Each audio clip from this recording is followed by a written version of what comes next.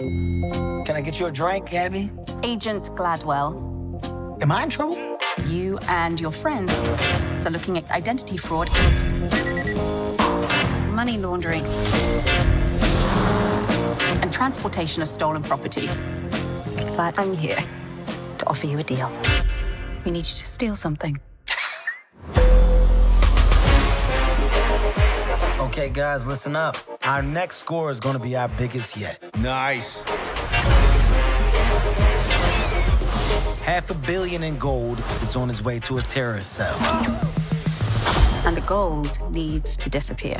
What's your plan?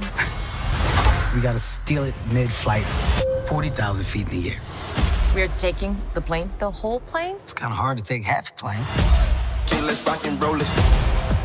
It's impossible. It just hasn't been done before.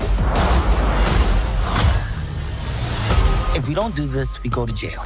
Plus, it's about saving lives. Come on.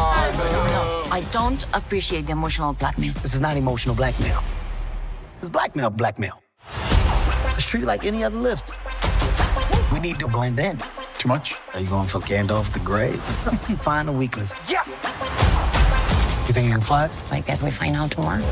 Go. No. If it was in a movie, it would go like, hey, let's steal a plane. And then you put your hand in, and people would be like, God. Oh my god. All right then. Let's show them what true artistry looks like. Is everybody in position? You're good to go. Showtime. Showtime. Come on.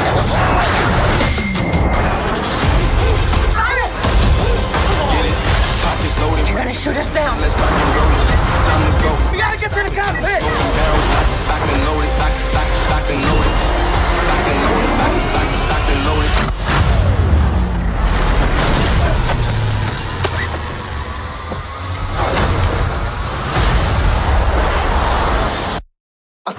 What's mine? What's mine? The world.